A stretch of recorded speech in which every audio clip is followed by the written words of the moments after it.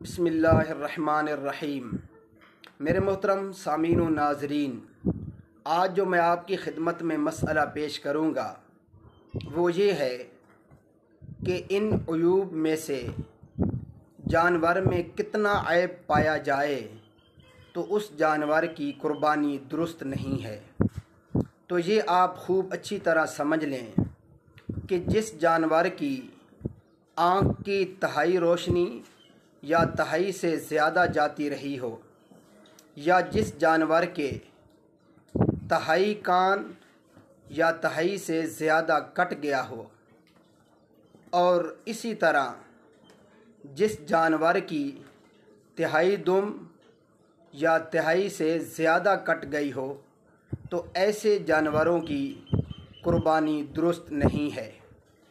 इस मसला की दलील देखिए। खुतबात मवाद जुमा सफ़ा नंबर आठ सौ इकतालीस। मेरे मोहतरम सामीन नाजरीन, अगर हमारी ये मुस्तनद दीनी मसाइल पे मबनी वीडियोस आपको पसंद आती हों तो हमारे चैनल ज़ौक़ इस्लाम को ज़रूर सब्सक्राइब फरमाइए। जज़ाकुमुल्लाहु जज़ा।